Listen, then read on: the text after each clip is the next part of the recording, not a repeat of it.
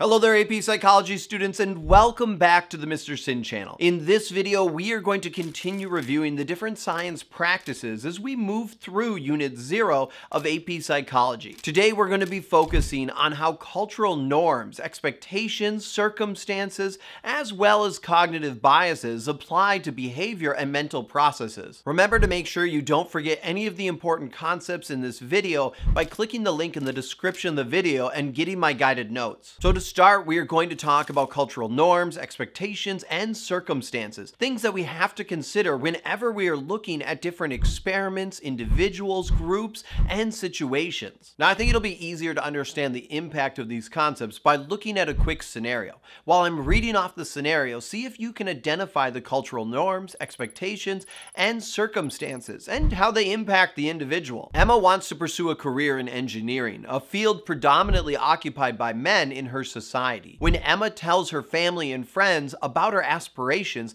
she finds that they are less than supportive. In fact, she ends up facing resistance as people continuously tell her she should focus on more appropriate roles for women, such as teaching or nursing. All right, now I want to highlight a couple things in this scenario. The first being the cultural norms, which are shared rules and guidelines within a community that dictate appropriate and acceptable behaviors in society. We can see that in this community, jobs such as engineering are traditionally for men, while jobs that focus on care are traditionally for women. This could indicate that this society has more traditional cultural values and norms. Now, we can also observe cultural expectations as well. Expectations are the anticipated behaviors and roles individuals are expected to fulfill based on cultural norms. In our scenario, we can see that when Emma went against the expectations that were put on her, she faced pushback as individuals sought to try and pressure her to focus on the expectations over her wants. Lastly, we could also look at the circumstances that Emma faced. Circumstances refer to the situations in which individuals find themselves in,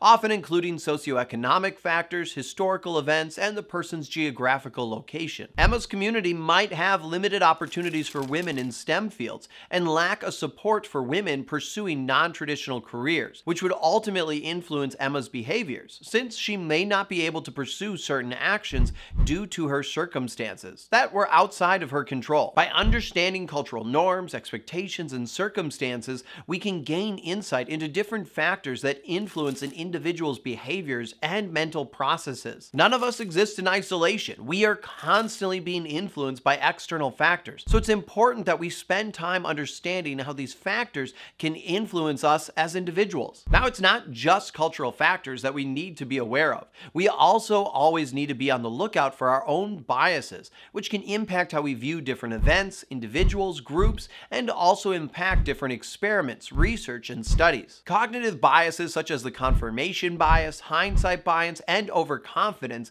can impact our thoughts and actions. The confirmation bias is the tendency to seek out information that aligns with our point of view, while at the same time dismissing information that challenges our beliefs. This bias tends to cause an individual to more easily believe evidence that supports their views and reject evidence that contradicts their perspective. For example, let's say you're talking with one of your coworkers about work ethic. Your coworker strongly believes that the younger generations today are not as hardworking as previous generations. One day at work, your coworker notices a young employee taking a short break and immediately comments saying, see, this is exactly what I'm talking about. Young people today just don't want to work hard. However, later that same day, another young employee stays late to finish a project and your coworker doesn't comment on this at all, instead focuses on other things. In this example, your coworker is exhibiting confirmation bias by paying attention to the behavior that confirms their belief, while ignoring the evidence that contradicts it. Generally speaking, we can see that confirmation bias can lead to polarized thinking and prevent individuals from considering new information that might challenge their beliefs. Up next is hindsight bias, which is the tendency to think that one could have anticipated the outcome of an event or experiment after it already occurred. Essentially, hindsight bias is the tendency to think that information is less surprising once you knew it. Generally, this bias happens because once our brains learn something, we start making connections to all of the other information that we know and start to see patterns. Hindsight bias can distort memories and affect how individuals learn from past experiences. It also may may result in individuals overestimating their ability to predict future events. Which leads us to our next concept, which is overconfidence. This is the tendency to overestimate one's knowledge, the likelihood of being correct, or an individual's ability to perform certain tasks. For instance, a student who consistently gets A's in their high school classes might become overconfident in their ability to perform well on challenging exams in college. The student may underestimate the need for them to study and prepare for the exam. As a result, they may not study, which may result in them struggling in their college exams. Overconfidence can lead an individual to make poor decisions or engage in risky behaviors, since individuals may take on tasks that they are not prepared for. Now, there are other biases that we need to be aware of, such as the experimenter bias, social desirability bias, sampling bias,